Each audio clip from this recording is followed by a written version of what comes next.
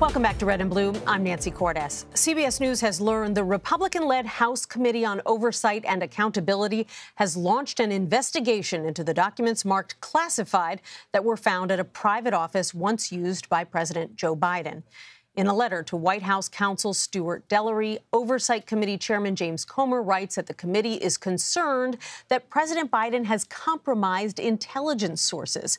Comer asked the White House to turn over all documents and communications related to the classified material found in President Biden's personal office, including the documents themselves, by January 24th. The request does not include a subpoena.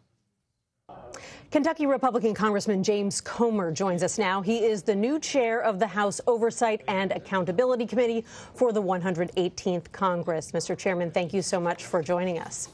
My pleasure. So, what is it that you most want to know when it comes to these Biden documents that were marked classified? We simply want to know the same things we asked when Mar-a-Lago was raided. Uh, who uh, has which documents? What level of classification are we talking about here? How many documents? And what was the process uh, involved with uh, making the decision to raid Mar-a-Lago versus the decision to apparently do do nothing uh, with President Biden? You said earlier that this was an example of a two tiered system for Democrats and Republicans at the Justice Department. Uh, in this case, uh, as soon as the Justice Department found out about it, uh, the Attorney General took it on and, in fact, assigned the investigation to a Trump appointed U.S. Uh, attorney. Did he do something wrong?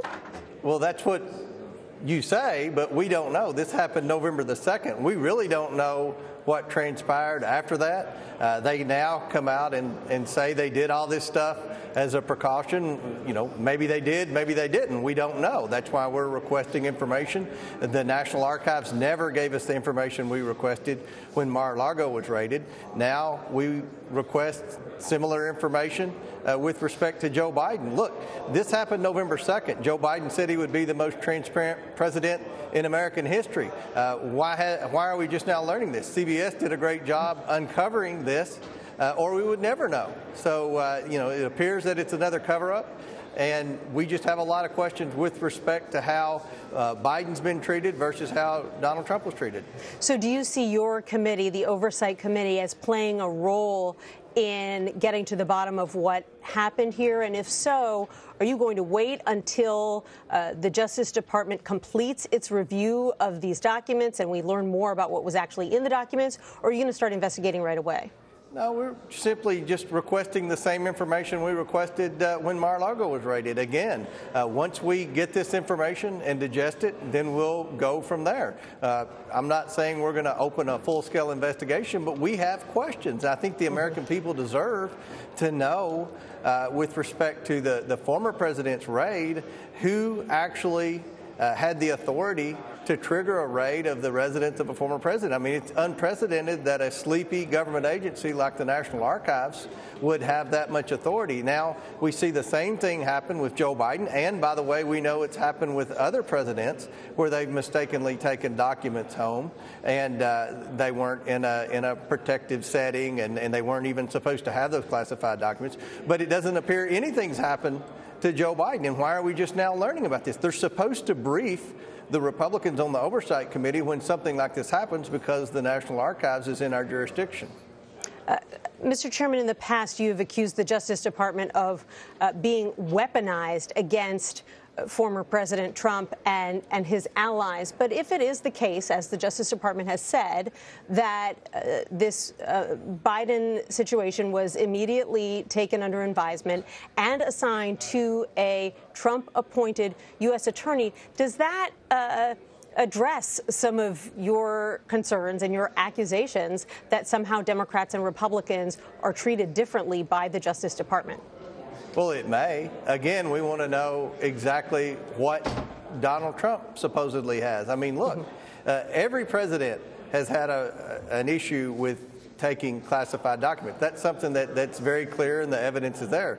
Joe Biden was very quick to criticize Donald Trump after the raid, said he acted irresponsibly in uh, having those classified documents, but now we see he did the same thing. Look, mistakes happen, I get it, but other presidents weren't raided. This president wasn't raided, and we're just now finding out about this. You know, this is two months later. Why didn't we learn about this at the moment it happened? Was it because it was a week before the election when Joe Biden was making the closing argument with the American people that Republicans were a threat to democracy and citing the raid at Mar a Lago? Is that the reason we're, we didn't hear about it then? I mean, I'm very concerned about the flow of information, very concerned that there is a, a two tier justice system uh, in the Department of Justice, and that's why we're starting this select committee to, to investigate whether or not the Department of Justice has been weaponized. But wasn't the difference in the Trump case that for nearly a year, both the Justice Department and the National Archives tried to negotiate with the former president to get those documents mm-hmm. back, all of those documents, and they were unsuccessful? Yeah, look, I'm not defending the president here. I'm just saying we have a similar situation that happened uh, to Donald Trump uh, versus what we know now happened with, with Joe Biden, but they were handled completely differently by the Department of Justice. So, you know, I'm, again, I'm not defending Donald Trump. No, uh, under no circumstances should uh, anyone possess documents that are classified that would risk our national security. And I understand that mistakes happen, but my point here is uh, the, the way the Department of Justice and the FBI has handled this uh, are, are very different uh, compared to Trump versus Biden. Right. And it may be that they were handled differently because the, the situations were uh, themselves quite different. Uh, Congressman, uh, in the time we have left, if you could just tell us a little bit about these letters that you had sent to the White House at the end of last year asking for information about Hunter Biden. The response came back from the White House you're going to have to wait until uh, Republicans officially take control of the House. You now have taken control of the House. You are now the chair of the Oversight Committee. Mm-hmm. So, are, are you going to resubmit those requests, and what exactly are you looking for? Yes, we're going to submit those requests, but the overwhelming majority of those requests pertain to how tax dollars were spent. We're very concerned that there was a lot of waste, fraud, and abuse with the COVID funds. We're very concerned about how the stimulus funds were spent. We're very concerned.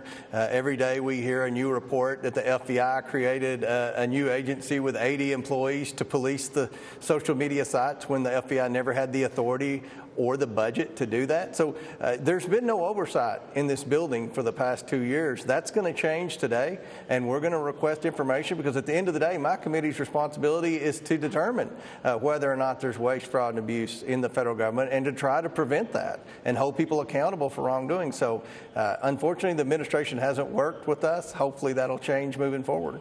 It'll be very interesting to watch. Congressman James Comer, uh, the chair of the Oversight and Accountability Committee in the House, thank you so much. Thank you.